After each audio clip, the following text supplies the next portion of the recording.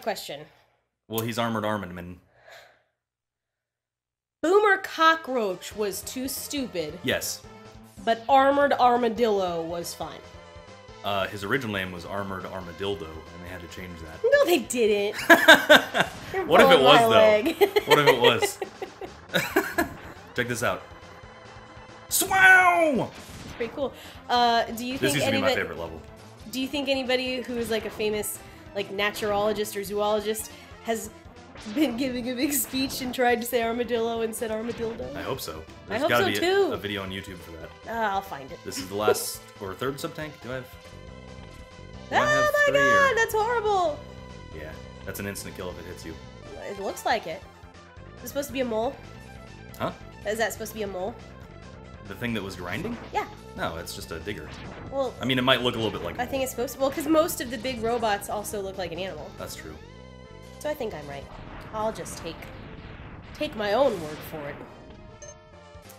Um, you ever watch that shitty show Saul of the Mole Men? Yeah. Adult Swim. It's a it's a cult thing. I don't think that most people liked it, it was really weird. but I've known people who did, and I'm like, why did you like it? Yeah. I, I don't know how I felt. I don't it. remember much about it other than I didn't watch it that much because I watched the first couple episodes and didn't like it. When they push Oh, it hard, Adult Swim has like I like Adult Swim, but they have a weird like vendetta against when people really don't like their programming, and sometimes that happens a lot because they air these weird shows like 12 Ounce Mouse. Well, that was different. That one had like a weirder, like a, a more thorough backstory than people thought. And so if you if you kind of picked up on that, then it was a better show. But no, I didn't like that one. Well, and it was because it was weird for the sake of being weird, and if there was a backstory, I never got it at all. You didn't watch it as much though. Well, but I did, and then I remember being kind of irritated because like the the bumps, if you will, Yes. um, they had uh, you were featured on a bump. I was. I'll tell that story next. But their bumps before the show got like increasingly kind of shitty. And they were like, yeah, I know that you guys don't like it, but it's still going. Yeah. And I'm like, well, no, we're we pay you.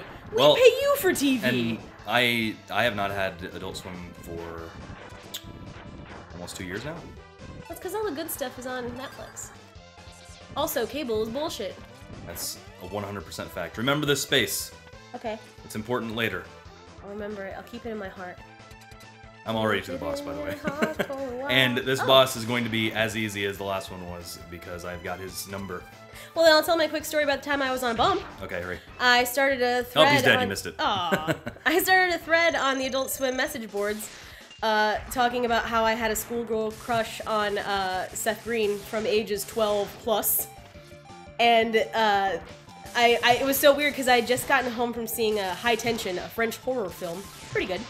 Uh, and so it was like two in the morning. I turned on the TV and I was doing something on the computer, and I just happened to glance up, and it was uh, a bump, a bump that said, um, "The boards have turned into Teeny Bopper Central." And then the first thing was, "I have a massive schoolgirl crush on Seth Green," and then my username is dead.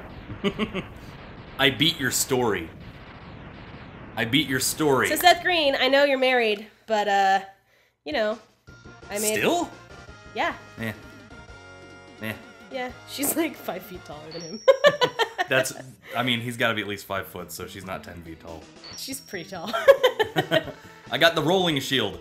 And the worst part about that is that the next level that I have to do is launch Octopus, which, if you played this game, that is the hardest level.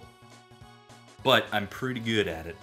pretty good. I'm pretty good. All right. Well, I guess we'll see your lunch octopus skills next time. Lanch Octopus. Lance Octopus, nice to meet you. I work in finance.